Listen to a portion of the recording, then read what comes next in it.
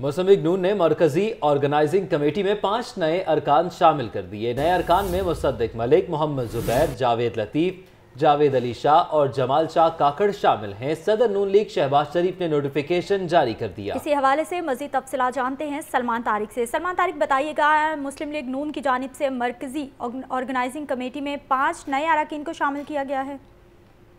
جی پانچ نومبر کو مسلم لیگ نون کی جانب سے مرکزی آرگنائزنگ کمیٹی کی تشکیل کی گئی تھی۔ اٹھارہ رکن پر یہ مشتمل کمیٹی تھی۔ اس میں پانچ مزید نئے ارکان کو شامل کیا گیا ہے۔ اس حوالے سے نوٹیفیکیشن جو آج مرکزی سیکریٹریٹ ماڈل ٹاؤن سے جاری کر دیا گیا ہے۔ اس پانچ نئے ارکان میں مصدق ملک محمد زبیر، جاوید لطیف، سید جاوید علی شاہ اور جمال شاہ کاکڑ کو شامل کیا گیا ہے۔ مسلم لیگ نون کی اس طریقے سے سینٹرل آرگنائزنگ کمیٹی جس کا جو مقصد ہے بنیادی طور پر پارٹی کی تنظیم سازی اور دیگر انتظامی امور کے حوالے سے اقدامات کرنا، اس کمیٹی کے جو کنوینر ہیں، وہ احسن اقبال ہی رہیں گے۔ جی۔